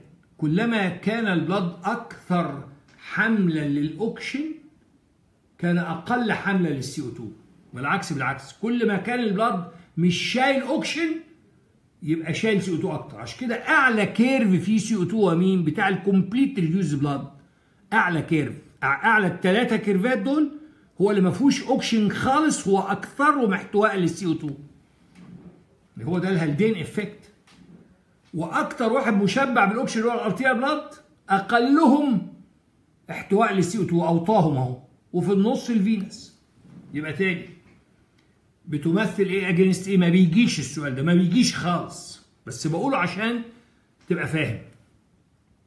بنمثل ال CO 2 content على الراسي في مواجهة ال pressure أو ال CO 2 tension على الأفقي. وكم curve؟ ثلاثة واحد لل arterial. واحد لل venous اللي في النص وواحد لل complete reduced إيه اللي بنلاحظه؟ حاجتين. كل في الثلاث كيرفات لما تزود ال tension الثلاثة بيزيد فيهم ال content بيطلعوا لفوق. منطقيا الملحوظة الأهم إن مين أعلى كيرف فيهم؟ اللي هو ما فيهوش أوكشن خالص وأكثرهم احتواء للسي أو 2 الكومبليت ريديوسد ومين أقلهم احتواء للسي أو 2 الكومبليتلي أوكسجينيتد 97% في النص الفينس لأن هو ده فكرة الهالدين افكت إيه الأرقام اللي هتكتبها هنا؟ عارفينها. حافظينهم من قبل كده. فاكر التنشن سي أو 2 40 46 40 ارتيريال و46 فينس طب وال content لسه قايلينها. ال total arterial فيه 48 ال arterial فيه 48 سم CO 2 في كل 100 سم فيه 48 طب ياخد 4 tidal يبقى ال venous فيه كام؟ 52 يبقى اعداد already قلناه. مفيش حاجة جديدة. خلص ال curve. يبقى نقطتين بس. اللي هي ال venous وال arterial point ال tension قلناها 1000 مرة. ال CO 2 40 46 40 46 وطبعا 46 في ال venous و40 في ال arterial طب وال content كنا قلنا ال tidal هو آسف ال total هو ال arterial 48 ال total CO 2 هو ال arterial 48 أهو. بيروح الأنسجة ياخد أربعة. اللي هو ال tidal given by tissue أربعة. يبقى ال venous فيه كام؟ total زائد tidal 48 و4 يبقى 52 تعالى بقى نشوف هنكبر الحتة دي تحت. اللي هو ال portion يعني جزء من ال CO 2 dissociation curve اللي هو ال- ال dash line اللي هو مشرط ده represents ال Haldane effect إنه النقطة دي بتمثل ال venous blood كنت أحب ال author الأمريكاني يكتبها V والنقطة دي ال arterial يكتبها A مش عارف ليه اختار A B ده حتى اتلخبط يعني ال venous blood A وال arterial blood B. كان كتبها A arterial تحت وفوق venous ما علينا مش هي دي الفكرة. فنفس الفكرة هنا. ال tension 40 46 40 46 40 في ال arterial و46 في ال venous وال content هنا ال arterial فيه 48 قلنا ال total arterial 48 ياخد 4 من ال tissue يبقى يرجع فيه 48 و4 يبقى 52 وده ال Haldane effect أنا عايز بقى أقول لك إيه هو قصة ال Haldane effect وقصة ال Bohr's هي سهلة جدا ومفهومة جدا وأحب أقولها لكم أولاد. في عجالة. الفرق بينهم. إن ال Bohr's effect بيقول الآتي. إن ال CO 2 يعني في في البور تبتدي بال CO 2 ال B مع ال C افتكر. ال B مع ال C ال Bohr's تقول إن ال CO 2 بيقلل affinity of hemoglobin to oxygen ده ال Bohr's effect يعني لما بيظهر ال CO 2 لما الأنسجة بتدي CO 2 بيتحد مع الهيموجلوبين يخليه يسيب اوكسجين يبقى ال Bohr's تبتدي في ال Bohr's تبتدي في ال B تبتدي بال C ال Haldane العكس. تقول ال Haldane إن العكس. الأكسجين الأكسجين بيقلل بيخلي الهيموجلوبين يسيب ال carbon dioxide أهو في ال arterial blood لما بيبقى عندنا في ال arterial blood مشبع بالاكسجين أكتر تلاقيه أقل حملا لل CO 2 48 بدل 52 يبقى ال Haldane هي تأثير الاوكسجين على ال CO 2 تبتدي بالاوكسجين عشان الطالب ما يلخبطهمش إن هم نفس الفكرة. هي فكرة الاثنين حاجة واحدة. إن برغم إن الهيموجلوبين يا أولاد بيشيل الاكسجين في نقطة مختلفة عن ال carbon dioxide عاوز أقولها لكم أهي. يعني هحطها لك فرق يعني الأكسجين بيتشال فين على الهيموجلوبين على الحديد. إنما ال carbon dioxide بيتشال فين؟ على ال NH2 group. ده الأماكن اللي بيحمل فيها الاوكسجين وال carbon dioxide ده في مكان وده في مكان. الاوكسجين على الحديد. ال carbon dioxide على ال NH2 يبقى المفروض ما لهمش علاقة. لا في علاقة. من روائع الخلق والخالق. ربنا خلى الهيموجلوبين بقولها بأسلوب فيه مزاح عشان ما تنسوش. شغال نظام شادية. عشان ماليش قلبين ما أقدرش أحب اتنين. كلما كان ال- ال- الهيموجلوبين أكثر حملا للاوكسجين كان أقل مقدرة على حمل ال CO2 ده ال Haldane effect. والعكس كلما كان أكثر حملا للسي أو 2 للسي أو 2 كان أقل مقدرة على حمل الاوكسجين ده ال Bohr's effect. يبقى هما حاجة واحدة يشيل اوكسجين يسيب سي أو 2 يشيل سي أو 2 يسيب اوكسجين الطلبة بتلخبط ال Bohr's مع ال Haldane فأنا قلتها لك بطريقة لا تنسى. ال B وراها حرف ال C فلما يقول لك قول ال Bohr's effect يبقى هو قال لي ال Bohr's B بقول ال C أقول يبقى ال CO2 بيقلل ال binding of hemoglobin with oxygen وعكسها ال Haldane أقول الاكسجين الاكسجين بيقلل ال binding of hemoglobin to CO2 that easy وده اللي إحنا شايفينه إنه ال arterial blood اللي فيه اوكسجين كتير قلل ال binding to فيه CO2 قليل عن ال venous ده ال Bohr's وال Haldane تاني يا أولاد يبقى إحنا خلصنا كده. ال CO2 CO2 dissociation curve ما بيجيش يا أولاد اللي بيجي ال oxygen curve ده سؤال نظري مهم واس مليون. ال C dissociation curve سؤال غير مهم اس اس صفر. قيمته بس في القصة دي. تاني أقوله لك في عجالة. في كل curve بنتعلم يا ولاد حتى لكله. بنحط أسس للمذاكرة. أما يجي لي curve إيه أول جملة أقولها؟ أما تقعد في برنامج في تلفزيون وهتشرح curve منحنى لل- لل- للمشاهدين. لازم تقول لهم انت بتمثل إيه على الراسي وبتمثل إيه على الافقي في ال oxygen curve كنت بحط ال percentage saturation of hemoglobin percentage saturation of hemoglobin ليه؟ لأن معظم الاوكسجين على مش معظم كل الاوكسجين chemical على الهيموجلوبين في مواجهة ال oxygen tension إنما هنا ال CO2 ما بيتشالش على الهيموجلوبين أساسا. أساسا كباي كربونيت أهم سؤال امن صورة. ال CO2 carbonic acid ك bicarbonate يبقى percentage saturation إيه؟ فبنحط ال CO2 content content against CO2 tension طب بعد كده تلاحظ إيه في ال curve ده؟ حاجتين. ملحوظة طفولية بتاعت أطفال. كلما زاد ال tension على المحور الأفقي زاد ال content على المحور الراسي كل ما زود ال tension ال blood يشيل أكتر C 2 ملحوظة الأهم بقى. إن أكتر دم بيحمل C 2 هو اللي مش شايل اكسجين خالص اللي هو completely reduced نسبة تشبع الهيموجلوبين صفر. قلت لك بيعملوها إزاي في الترمومتر oxygen free air جوه الترمومتر مفيش فيه اوكسجين خالص. لكن بالعكس ال arterial blood اللي 97% مشبع أقلهم حملا لل CO2 ويجي ما بينهم ال venous blood طب فين النقط قلناها 100 مرة النهارده. 40 100 اكسجين ده مش موضوعنا دلوقتي. 40 46 ده ال tension بتاع ال CO2 أهو تحت. 40 arterial و46 venous طب وال content قلنا ال total CO2 هو ال arterial CO2 48 مليون مرة. فاكر توزيعاتهم ال 48 كانوا إيه؟ 3 3 42 42 بايكربونات يروح للأنسجة تديله مصيبة قنبلة موقوتة اللي هي ال chloride shift أربعة يبقى في 52 كبرنا الحتة اللي تحت أهي عشان نشرح لك إيه هو ال Haldane effect يمثله الخط المعرق.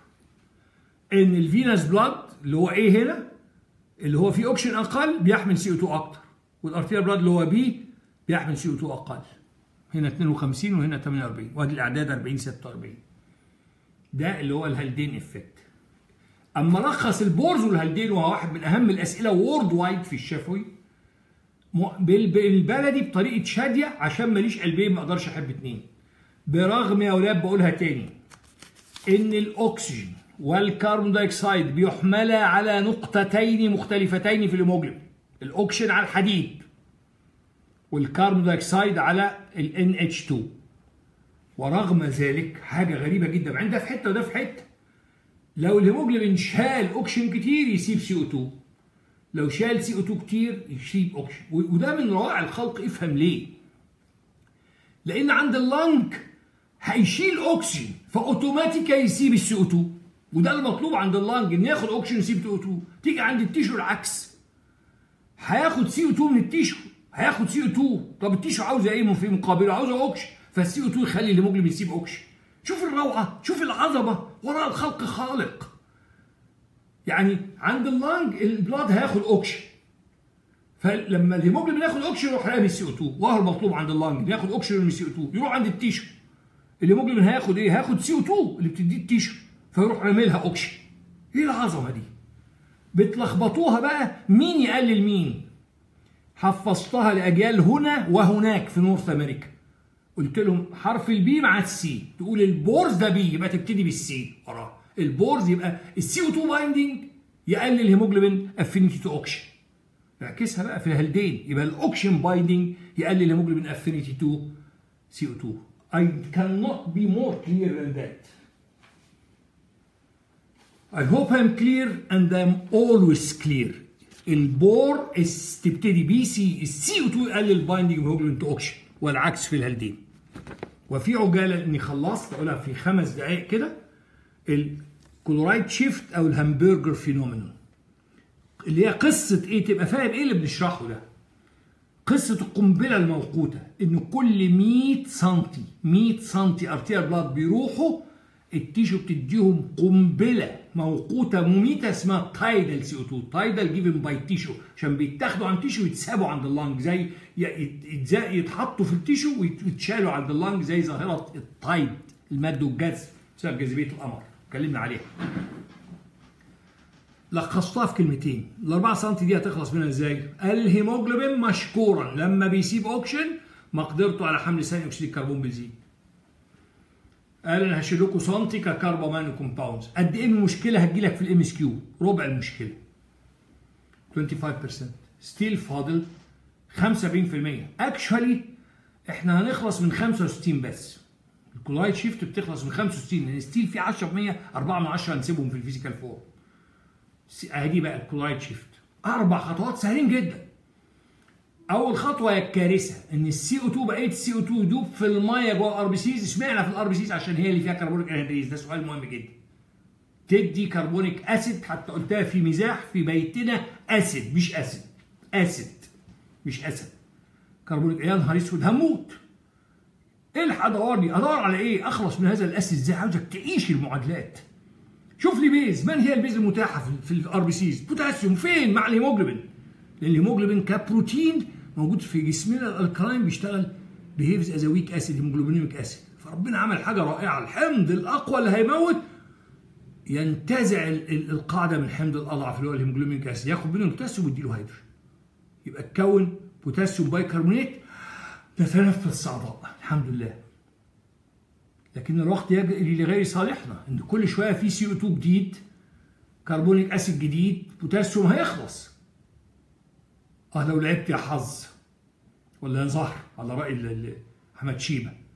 آه لو نخرج شوية بايكربونات يتعدوا بالصوديوم بره والصوديوم بره يقدر يعادل ثلاث أرباع الكمية البوتاسيوم ربع بس. ده الخطوة الثالثه فخرجنا البايكربونات عشان يتعادل بالصوديوم زي ما بيتعادل البوتاسيوم والصوديوم أهم 75% من الصوديوم و25% بوتاسيوم. يعني ال bicarbonate ال sodium bicarbonate أهم من ال potassium bicarbonate آه بس مش هقدر أخرج كمية تاني. ليه؟ لأن عدد ال negative charges بره هتزيد. إلا إذا إلا إذا إلا إذا تفضل الكلورايد مشكورا بالدخول وقد تفضل الكلورايد مشكورا بالدخول. وقلنا بالعكس ولولا أن تفضل الكلورايد مشكورا بالدخول ما أمكن الاستمرار في إخراج البايكربونات. لأن كان عدد ال negative charge هتزيد فده هيعوق خروج البايكربونات فكنت افاجئ ب carbonic acid مش قادر أعادله لأن خلصت البوتاسيوم. كان حصل fatal drop في البي اتش وانقضت الحياة. يبقى حياتك عاوزك تحب دي تبص للكلورايد كده وتقول الحمد لله يا رب. شكرا إنك خليت الكلورايد يتفضل بالدخول. من كتر ما Hamburger فاهم أهمية الخطوة دي في حياة البشر سمى العملية باسمها chloride shift phenomenon. انظروا كيف تحرك الكلورايد لولا أن تحرك الكلورايد ما أمكن استخراج الاستمرار في إخراج البيكربونات ما أمكن معادلة ال carbonic acid بالصوديوم كما عدلها بالبوتاسيوم. كان هيحصل fatal drop في البي اتش طب إلى إلى أي مدى يقعد يخرج البيكربونات ويدخل الكلورايد لحد حاجة اسمها Donnan's equilibrium لحد ما البيكربونات في البلازما على ال RBCs تساوي الكلورايد بالعكس في ال RBCs على البلازما. طب نيجي ال results. قلت لكم بطريقه رائعة. جدول رائع. سبعة. تاخد أول ثلاثة ions بنتبادل بايكربونات مع cations ولا نتبادل مع الكلورايد؟ آسف. بايكربونات مع الكلورايد ولا نتبادل ال cations؟ وده سؤال MCQ ال RBCs membrane بيفوت ال negative بيفوت ال negative ما بيفوتش ال positive اللي بيروح لل cathode بيسموه cations. من عدد الأيونات تاخد اللي بعدهم. الثلاثه اللي بعدهم. دول ثلاثة أحب النظام قوي. والتحصيل. دول ثلاثة أعرف ال osmotic pressure وعليه أعرف ال water shift وعليه أعرف ال RBC حجمها يحصل له إيه. ثم النقطة السابعة لوحدها إن إحنا ما تخلصناش من 100% من المشكلة في 4 من 10 من الأربعة يعني 10% سيبناهم ك CO 2 in physical فعشان كده ال venous blood slight acidic فين الغلطة في أول واحدة؟ إن الطالب الابله يبص للسهم الأخير ياخد من الآخر. يقول ده خرج كده يبقى هنا زاد وهنا قل. لا يا بابا. ال RBCs لما راحت لل tissue ما كانش فيها بايكربونات ده كله من خيرات ال tissue. أبقت اللي تقدر عليه وادت الباقي ال RBCs في نهاية اليوم زاد البايكربونات في كليهما. انها بعد كده ما شفتش طالب يغلط. كلورايد اتنقل كده يبقى زاد في ال RBCs وقل في البلازما الكاتاين ثابتة. ال membrane ما بيفوتش cations يبقى عدد الايونات في ال RBCs زادت ال osmotic pressure زاد في البلازما زائد وناقص يبقى ثابت ثابت يبقى ثابت. وعليه ال water shift يحدث من البلازما لل RBCs فال RBCs ترجع لنا من عند ال tissue في ال venous blood حجمها أكبر. يبقى ما يسألني ليه ال packed cell volume أو ال hematocrit value أعلى في ال venous blood بسبب ال water shift بسبب ال chloride shift phenomenon. وسيبنا 10% في صورة CO2 أنتوا بس اللي فاهمين ليه. سؤالين من أخطر الأسئلة. لأن هذا ال CO2 في ال physical form هو اللي بيمسك مع الهيموجلوبين يخليه يسيب الأكسجين للأنسجة. مش كده؟ ال CO2 بيقلل bind اللي هو Haldane effect آسف ال CO2 بيخلي ده ال Bohr's effect لأن ال B مع ال C قلنا ال Bohr's خلي ال CO2 بيقلل بيخلي الهيموجلوبين يسيب الأكسجين. تبقى. وتاني واحدة قلناها إن ال CO2 in physical ده هيزود ال tension بتاع ال CO2 في ال venous blood فلما يروح لل alveoli يبقى ال tension of CO2 في ال venous أعلى من ال alveoli فال CO2 يخرج. دي الحتة دي. ثم قلنا ال Haldane وال Bohr's اوعى تنساهم. في عجالة قلنا إنه الهيموجلوبين شغال نظام شاديه عشان ماليش قلبين ما أقدرش أحب اتنين. برغم اهي للمرة الأخيرة إن الاوكسجين بيحمل على ال iron وال CO2 على ال NH2 في الهيموجلوبين مفيش مزاحمة. بس الهيموجلوبين لو شال واحد يسيب التاني. ودي من رائع الخلق. فال Bohr's قلنا عشان ما تلخبطهاش تعمل إيه؟ لأن هم نفس الفكرة. يعني أي واحد ممكن يتلخبط فيهم. فأنا عملت لها طريقة حتى لنفسي لنفسي مش ليكم ال B مع ال C. لما يقول لي قول ال Bohr's أقول أبتدي بال CO2 لما يمسك في الهيموجلوبين يقلل binding hemoglobin to oxygen يبقى ال Haldane أبتدي بالعكس. الاوكسجين لما يمسك في الهيموجلوبين يقلل مقدرته على حمل ال CO2 يخليه يسيب CO2 ده ال Haldane effect ولا تنسى الأرقام مهمة جدا. 40 46 ده ال tension بتاع ال CO2 من أهم الأرقام في الطب. وال content 48 تديهم 4 يبقى 52 كده يا ولاد خلصنا الجزء الأكبر في ال circulation اللي هو الجزء الأول. وبعدين فاضل لنا الجزء الأصغر وهو الجزء الثاني وده أكثر متعة لأنه ما فيهوش كيرفات فيه كلام رائع وجميل وحلو خالص. وفي النهاية سهرتكم وأشكركم على وقتكم وأتمنى كما هي العادة أني أكون افدتكم افدتكم وسعدت بلقائكم وألقاكم على خير دائما ولم يبقى إلا أن أتمنى لكم التوفيق وربنا يوفقكم جميعا يا أولاد وألقاكم قريبا بإذن الله. شكرا جزيلا.